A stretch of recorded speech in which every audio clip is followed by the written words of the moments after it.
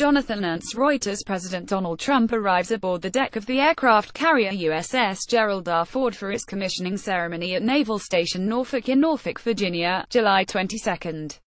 1.6 K 92 Washington. As President Donald Trump entered his second 100 days in office, he described an example of his common-sense leadership. New U.S. Navy aircraft carriers, he decreed, would not use high-tech electromagnetic catapults that only Albert Einstein could understand, but would go back to old-fashioned steam power. You're going to goddamned steam, he told Time magazine.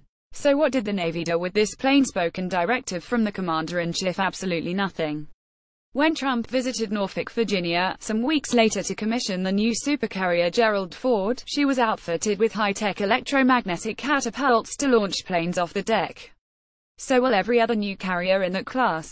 In fact, the Navy didn't even bother asking for a study to explore the cost of retrofitting the Gerald Ford to use steam. It seemed less an act of defiance than an assumption that Trump couldn't possibly be serious about ordering an expensive and time-consuming redesign of a major weapons system with very little background knowledge, and in the context of a media interview. They ignored it, Douglas Brinkley, a presidential historian at Rice University, said with a laugh. The United States federal government is now just shrugging at and ignoring some of his statements. It's a shrug that is becoming more common in the Trump presidency. Agency heads and lower-level bureaucrats appear to have concluded that the combination of Trump's impulsive nature and short attention span means that the president's sometimes random commands can, and should, be safely ignored. His attention span is so short that what he said one hour, he doesn't even remember the next hour, Brinkley said. That ignore father says attitude may become particularly important as the U.S. deals with a nuclear-armed North Korea. Just hours after Trump's ad-libbed fire and fury statement on Tuesday appeared to escalate the conflict, Secretary of State Rex Tillerson gave far more measured remarks to reporters traveling with him. We have a very active, ongoing diplomatic effort, most of which is behind the scenes because that's where diplomacy is most effective, Tillerson said Wednesday as his Air Force jet flew homeward high over the Indonesian island of Borneo. I think what the president was just reaffirming is the United States has the capability to fully defend itself with any attack, We'll defend our allies, and we will do so. So the American people should sleep well at night.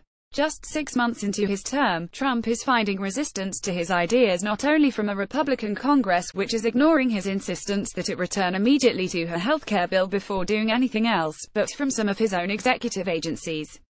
I'm not talking about so-called deep state bureaucrats, wrote Jack Goldsmith, a former Justice Department and Defense Department lawyer in the George W. Bush administration. I'm talking about senior officials in the Justice Department and the military and intelligence and foreign affairs agencies. And they are not just ignoring or contradicting him in private. They are doing so in public for all the world to see. Trump's White House did not respond to queries about the aircraft catapult, or more generally about administration officials ignoring his directives. But examples are rapidly accumulating. Trump frequently calls the idea of Russian interference on his behalf in last year's election a hoax invented by Democrats. Leaders of the U.S. intelligence agencies, including those appointed by Trump, like Director of National Intelligence Dan Coats and CIA Director Mike Pompeo, say the intelligence community's analysis that Russia tried to help Trump win is correct. Trump's Attorney General, Jeff Sessions, angered the president by recusing himself from the FBI's investigation of possible collusion between Russia and the Trump campaign. More recently, Sessions has resisted Trump's public ridicule and shaming, and has refused to resign his post, and in so doing has protected the special counsel now running that investigation, as Trump cannot independently fire that person.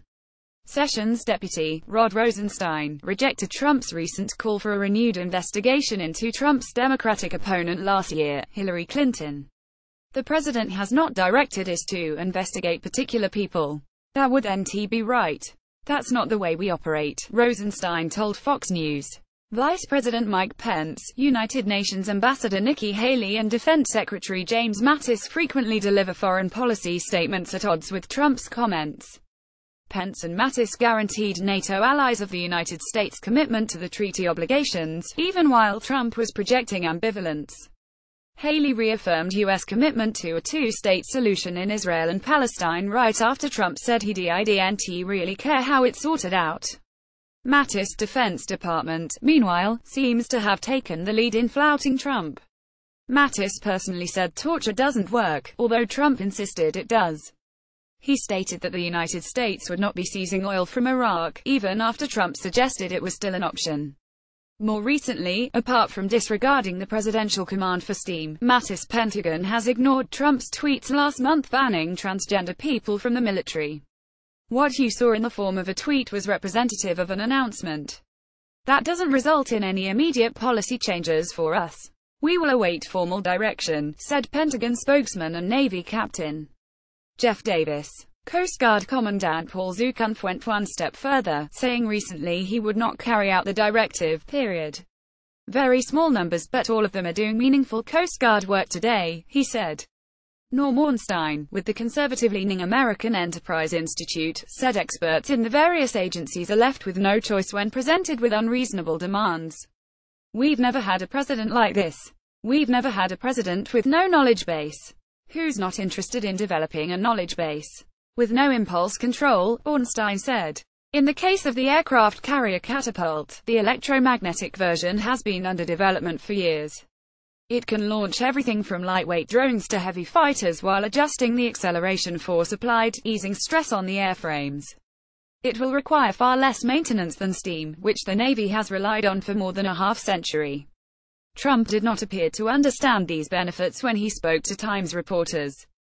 Digital. They have digital, he said, apparently describing how the electromagnetic catapult is computer-controlled. What is digital and it's very complicated. You have to be Albert Einstein to figure it out. Trump, of course, is not the first president to deal with an executive branch that does not bend to his every whim. Harry Truman reportedly laughed that successor Dwight Eisenhower, who during World War II had commanded all Allied forces in Northwest Europe, was used to people following his orders, but that's not how it worked with the presidency. More recently, and perhaps more on point, Richard Nixon would routinely order his top White House aides to carry out bizarre and sometimes illegal orders, including at one point the bombing of the Brookings Institution to create a diversion allowing the theft of damaging documents. The aides, including some who history painted as villains following the Watergate investigation, protected the country by ignoring those orders, Ornstein said. It's not the first time we've seen crazy orders given by a president angry that things didn't work the way the president wanted them to, Ornstein said.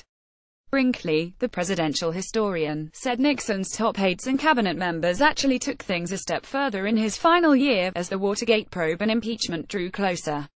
Worried about his mental stability and his alcohol consumption, they essentially set up a system that required sign-off by the Chief of Staff and the Defense Secretary for the authorization of military strikes, he said. It was sort of extra-legal, Brinkley said, but operated on the premise that the United States was too important to let Nixon destroy it. The whole issue became containing Nixon. Brinkley said Trump's presidency has close parallels with the Nixon era. Now, like then, career public servants and military leaders appear to be siding with the law and the Constitution against Trump's impulses. His tweets are just being seen as a weird aberration of popular culture, not to be taken as directives, Brinkley said. It's unfortunate when a president behaves that way, but anyone in the military and the CIA have to understand what's rational and what's not rational. They've got to keep the world's largest economy and the only real superpower safe. Download Do you have information you want to share with HuffPost? Here's how. S.V. date senior White House correspondent, HuffPost.